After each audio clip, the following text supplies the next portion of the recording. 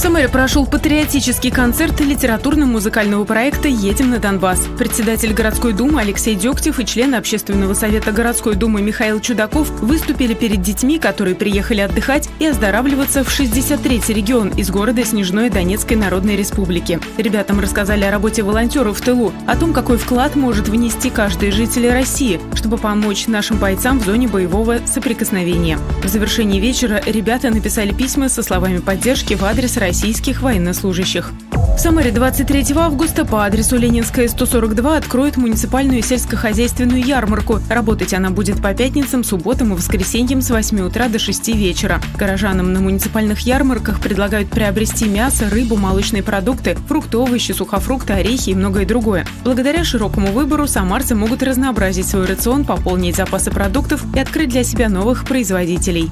В Самаре на улице Георгия Димитрова в границах улиц Молодежной и Демократической специалисты обновляют дорожное покрытие. В список обязательных работ также вошли организация пешеходных переходов, установка новых бордюров и антивандальных люков-колодцев, обустройство тротуаров. Основные работы по обновлению дороги выполняют ночью, чтобы не мешать движению транспорта. Для избежания полного перекрытия объекта ремонт проводят по отдельным полосам. Согласно муниципальному контракту, ремонт должны завершить до конца августа.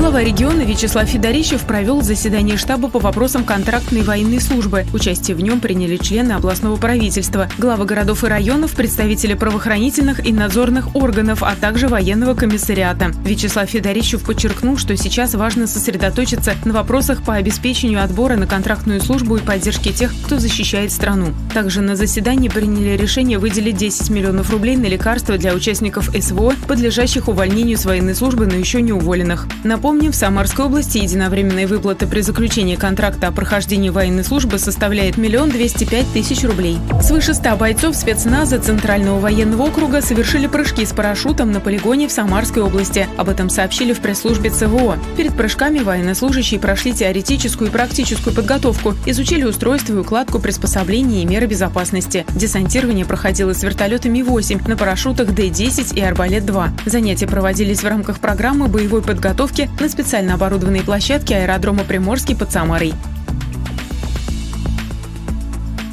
На территории Сызранского района Самарской области саперы обезвредили шесть артиллерийских снарядов различного калибра. Об этом сообщили в региональном управлении Росгвардии. Боеприпасы нашли в лесополосе в состоянии сильной коррозии. Специалисты, соблюдая все меры предосторожности, уничтожили их на месте. Стало известно, почему россияне отказываются оставлять чаевые. 40% респондентов оставляют сотрудникам на чай из-за желания поблагодарить конкретного человека, а не компанию. 23% опрошенных в целом не хотят создавать прецедент, когда работникам обязательно обязательно нужно оставлять чаевые. Еще 20% откажутся, если курьер или официант попросит о поощрении напрямую. Чаще всего россияне дают чаевые официантам, барменам, таксистам, мастерам маникюра, стилистам, а также грузчикам и носильщикам. Более 40% опрошенных считают, что самый удобный способ оставить на чай – это специальная кнопка на сайте, в приложении или в личном кабинете.